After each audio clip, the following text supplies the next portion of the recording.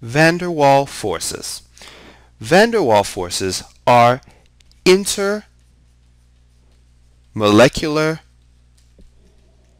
forces. That means attractive forces attractive forces between molecules. So this is very important to distinguish between molecules from intramolecular forces which have to do with the bonding or transmission the transmitting of ele of electrons. So it's the atoms that hold the molecule together. So that's chemical bonding. Van der Waals forces are a bit different because they involve the attractive forces between molecules.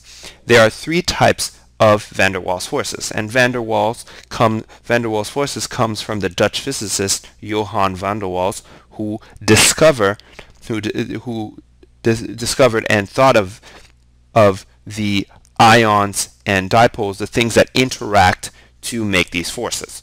So there are three types that we're going to discuss. First is dipole-dipole forces, forces that act between polar molecules.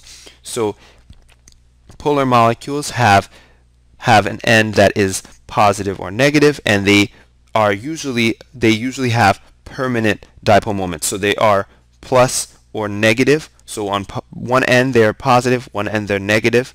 Okay, and this force, this attractive force, makes other ones attracted to it. So a negative, another positive, dipole. So this is one dipole, this is another dipole, and they would be attracted. So this molecule is attracted to this molecule because of their charges.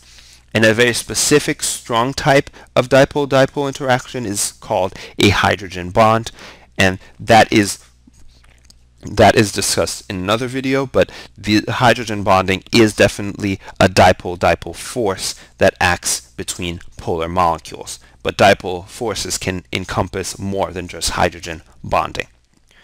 Another type is ion dipole forces. Ion dipole forces are when forces that operate between an ion and a dipole. The attractive force of an, an ion, either a cation or an anion, so a positive or a negative one, with a polar molecule to each other. So the polar molecule, when, the difference between a polar molecule is that its dipole, this plus or negative, is, us is usually always intact. The ion means that it has a positive or negative charge and the dipole has a positive or negative end that that ion is going to be attracted to. And the strength of this interaction depends on the charge and the size of the ion. So that's why it's important to know the ion size so that you know the magnitude or how big that attraction is going to be.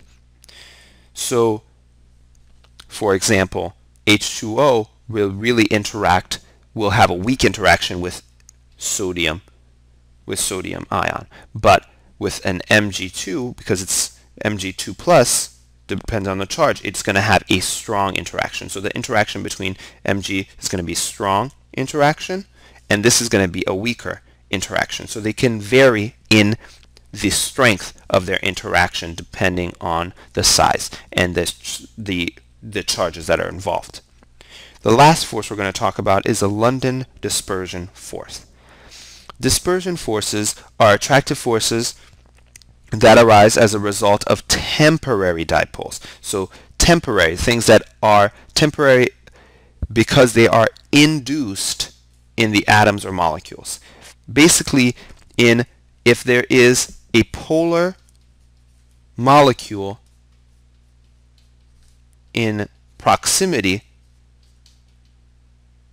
which means closeness to atoms or those molecules, they will be induced to become a dipole. So they will become, they would have a positive and a negative end because of because of the proximity of that polar molecule. And so this interaction is called a London dispersion force or just dispersion forces. So those are the three types of van der Waals forces that act in between or intermolecularly.